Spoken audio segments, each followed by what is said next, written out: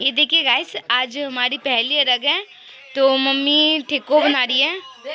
ये देखिए, ये ठेकुआ अभी आटा उसको सान कर गूद कर, ये बनाए है। मम्मी वहाँ पे चूल्हे पे बना रही है और वहाँ पे पूरी बन के रखा हुआ है। ये देखिए, वहाँ पे रखा हुआ है, वो देखिए टुप्पी में।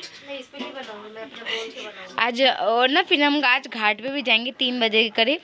तो मैं रेडी होंगे तो मैं आपको दिखाऊँगी, मैं कैसी लग रही हूँ और घाट को भी दिखाऊँगी।